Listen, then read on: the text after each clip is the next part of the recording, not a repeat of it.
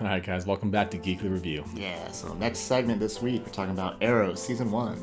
Yes. Here we go.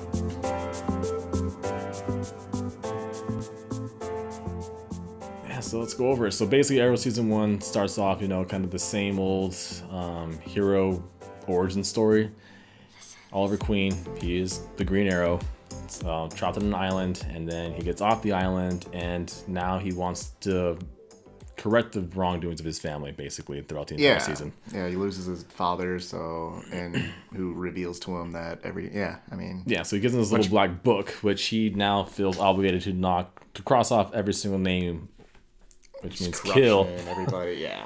every single name in that book. And he meets some friends along the way, and yeah, that's basically Arrow season one. The whole, yeah, just over over, overview synopsis, yeah. Yeah, so what are your what are your takes on Arrow season one? Man, dude, this dude, season one of Arrow was fantastic, man. It's one of the best. I mean, okay, I mean, first of all, I mean, it kicked off this entire universe now. I mean, they've got It- uh, Yeah, it was the foundation of the entire CW DC universe. got- now you got Flash and Supergirl, Legends, uh, everything now going on. Um, Season one of Arrow is probably one of my favorite superhero season TV series ever. yeah. it was It is so good. It was crazy good. Um, you know, and it, I just, um, man, I love, I love how just so they break. You know, I love how they break down. ju- I mean, just in the initial, like the format of each episode, right? Like, because we all know from the comics, you know, that's his origin thing, right? He was this bi- a billionaire, billionaire playboy. Yeah.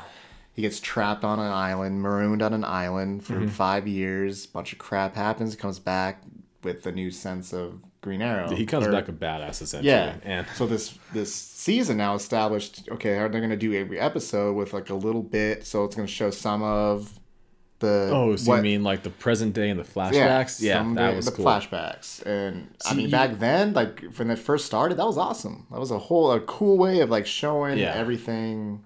Kind of like Lost. If you guys have seen Lost, it's a little bit of play like that, to where you get to see how they're doing, you know, in present time on the island, and then you have flashbacks of their life before they're on the island. But this is kind of different. So this is where you have present day with him being back into his normal life after being on the island, but then you also get glimpses.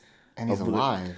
You also get glimpses of what he was doing while he was on the island, and yeah, so it's it's it's cool how you get to see how he became what he was.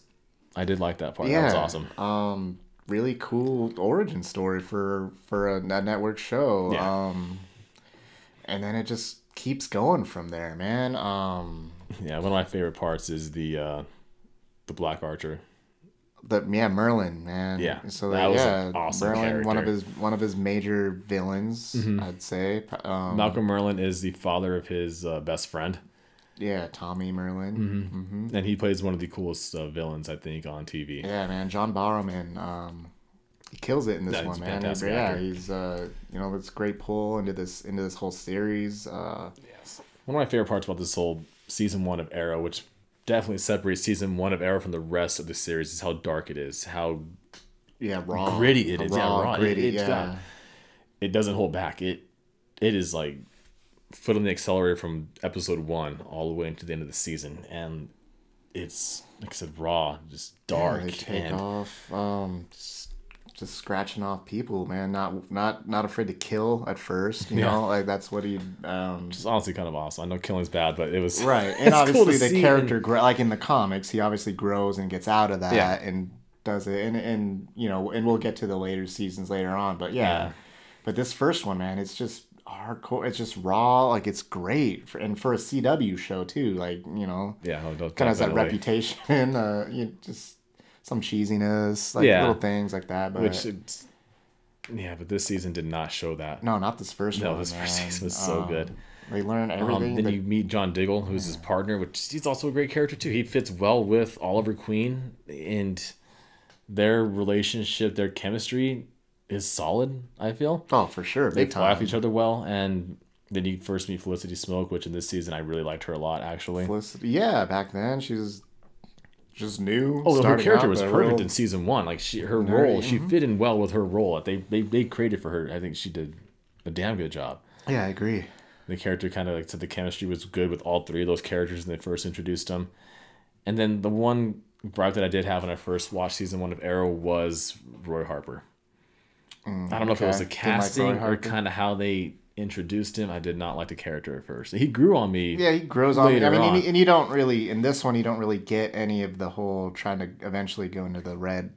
You know, his sidekick type of Speedy. thing. Yeah. Speed, yeah. Well, supposed to be Speedy. yeah. yeah. yeah, He calls that his, his. That's kind of reserved for his sister, I guess, in this show. But Yeah. That's her nickname. Um, but yeah, usually it's Roy Harper. But it's just kind of his beginnings, like just kind of his in the. Yeah, how- he becomes obsessed with the Hood, which is called the Hood actually in season one. Yeah, which is kind of a cool called. take. Yeah, he wasn't it's not, it's initially not called the official Green Arrow yet. No, he just called the Hood. Yeah, so I I, I loved season Um, Yeah, that's one. of cool. Arrow. And then they introduce other, you know, main characters from the comics. So like you'll, um, you, the Huntress, Huntress is is in in this this movie, one. or in this, not the movie, but in the show, the, TV season. show, yeah. Um, The so they Huntress is in there. introduce Her, um, in a few episodes, I think. Uh, Deathstroke is introduced. And Death, yeah. So that's Slade part, Wilson, that's you get to meet So- Slade Wilson in his past. in his past, um, and he's not really Deathstroke then. No, not Like yet. there's another guy that kind of wears like the beginnings of the mask, and Yeah. then he Slade Wilson ends up kind of Mhm. But you do in, get introduced to Slade Wilson, Huntress, like I Ma- said, Roy Manu, Harper. Manu um, Bennett, though, also perfect casting for Yeah. Slade Wilson, man. if you if you guys ever watched Spartacus, uh, he was great in that show Mm-hmm. as Crixus, but he comes as Slade Wilson in this show, and it's awesome. Yeah, it really is.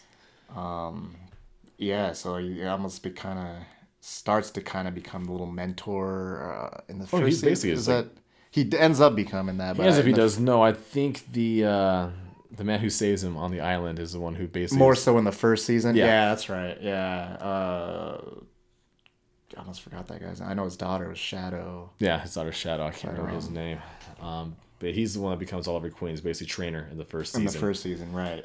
And it's just really cool to see how he develops, how he grows on the island to become what you see in present day. I, I, I did like that was awesome. Yeah, it was.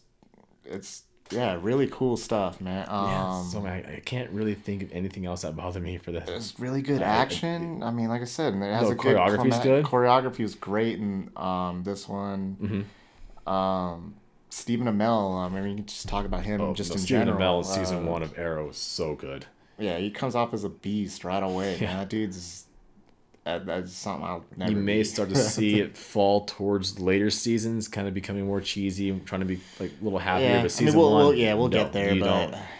Season one, you get none of that. Season one, you get just angry, brutal, badass Stephen Amell as Oliver Queen. It, yeah, I love season one of Arrow. It's so good. Yeah, man. I mean, So yeah, I recommend this to stakes are get stakes get really high. I mean, yeah, Yeah, Merlyn, plot's good, story's good, acting's good, action's good. Um, a legit story too, like with Merlyn wanting like the undertaking to Oh, kind of yeah. like take out, the kind of the city is almost kind of like a Ra's al Ghul ish. Oh, definitely Ra's al Ghul. Yeah, yeah, yeah, Ra's al Ghul uh, feel to it, to where he, yeah, he just wants to demolish what he feels is the evil part of the city and Yeah. start build from from there.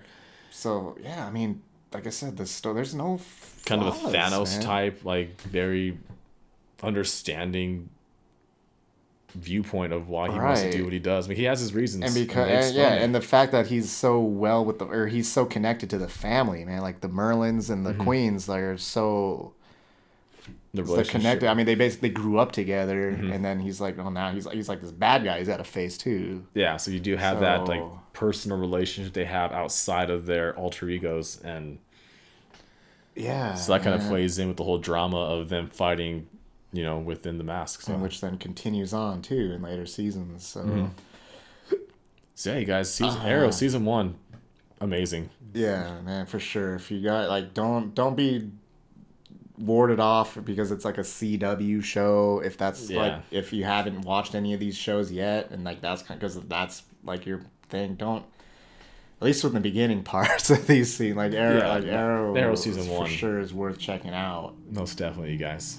Yeah, but I mean that's yeah, that's basically Yeah, I think that's all we had to talk about for for this one, you guys. So, all right, you guys, that does it for season one of Arrow. So remember to like and subscribe if you want to see videos just like this one. Yeah, and again, like always, please comment down below if uh, there's anything you we missed or anything that you think is uh, we should be talking about. Uh, let us know.